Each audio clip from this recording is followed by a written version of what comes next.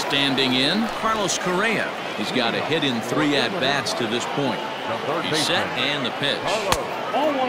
Osuna is known in part as a reliever with a, a, clutch factor, perhaps. An escape artist is another way to put it. Regardless, he seems to be at his best when pressed up into difficult situations, which is kind of what you want out of a bullpen arm. No doubt about it, Matty V. And I call a guy like this troubleshooters. Guys that you can bring into a game with runners in scoring position. They don't panic. They keep the game at a slow pace. And more importantly, they make good pitches to good hitters to get out of tough situations. Curtis Granderson come on to pinch hit now with a runner at first and nobody out. On its way, the 0-1 pitch. Started to go around there, but he holds up ball one starts to go around, but the home plate umpire says he held up ball two. A runner at first with no outs here. And Granderson trying to work his way aboard. He's got it to three and one now. Well, tying run on deck. He should get something really good to hit right here in a 3-1 count. I'd be sitting on a fastball middle in. In there, a base hit.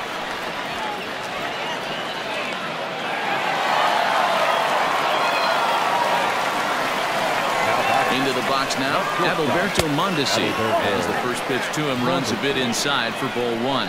He's hitless in three at-bats to this point. Hit to second.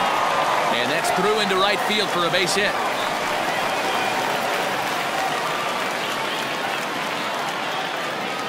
Now batting, the left fielder, Joey Gallo. So that brings up the big bat of Joey Gallo as he'll take a tough pitch on the outside part of the plate for strike one. He comes into this appearance in the midst of a one for four day. Two and one. Bases loaded here, nobody out. Chopped down the first baseline, but this will wind up a foul ball. Two and two. That's taken high for a ball. It's full now, three and two. That was kind of a gift to the hitter. He's up there probably thinking of protecting on two and two, but when you launch a ball that high out of the strike zone, it's obviously easy to take that one. Well, this is speared by the first baseman. Trying to pick things up where he left now off. Torres. Bases are loaded in front of him, so a real opportunity for him to put a dent in that three-run deficit. Here's a fly ball, well hit. And that ball is gone! Santa Maria, game over.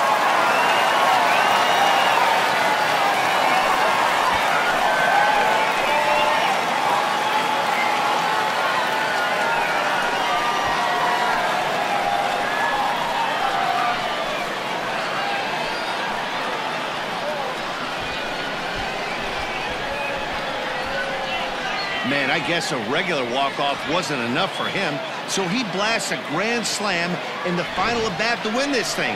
I've seen a lot of things in my day, but that was something very special. Every game has its offensive stars, and in this one, he arguably shined the brightest. He's our top player of the game.